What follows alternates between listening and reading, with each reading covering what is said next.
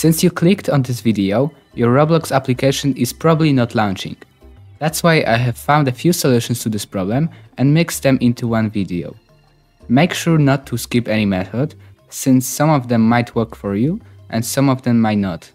So the first thing you want to do is to go to your search bar at the bottom and search for remove programs. Now, click on the add or remove programs and search for Roblox. Now, click on uninstall and click on uninstall once again. Confirm by clicking on OK and open up your browser. Go to the official Roblox website by typing in Roblox and clicking on the first link. And click on the game of your choice. For example, I will click on Blade Ball. Next, return to the search bar and type in run. In the pop-up, enter percent appdata percent and click on enter. Click on the appdata folder and click on local. Here, find the folder named Roblox and delete it. Before reinstalling Roblox, click on the search bar at the bottom and search for Windows Firewall. Click on Windows Defender Firewall and click on Turn Windows Defender Firewall on or off. Then, disable the Windows Firewall by selecting Turn off Windows Firewall and finally clicking on OK to apply the changes. Now, go back to the Roblox website and click on Play. Wait for a moment and click on Download and install Roblox. You should have downloaded Roblox installer, so for example I have mine right here, and what you want to do is to right click on it and click on Run as Administrator option.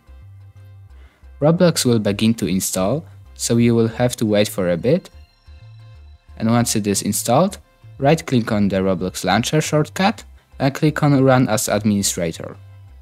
If Roblox is still not launching, don't worry, I have a few more solutions. Right click on the Roblox player shortcut once again and click on Open File Location. Here, double click on Roblox player, not the Roblox beta or Roblox installer, but Roblox player. And as you can see, this pop-up will appear, so click OK and try running Roblox player as administrator once again. The problem should be already solved, but if it isn't, right click on Roblox player once again and click on properties.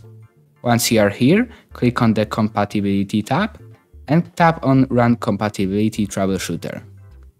Now, click on try recommended settings and click on test the program. Your Roblox application should open, so wait for a bit and if it doesn't launch, click on next and now try again using different settings. Afterwards, follow the steps shown in the troubleshoot. I won't show it here since the process is different for each person.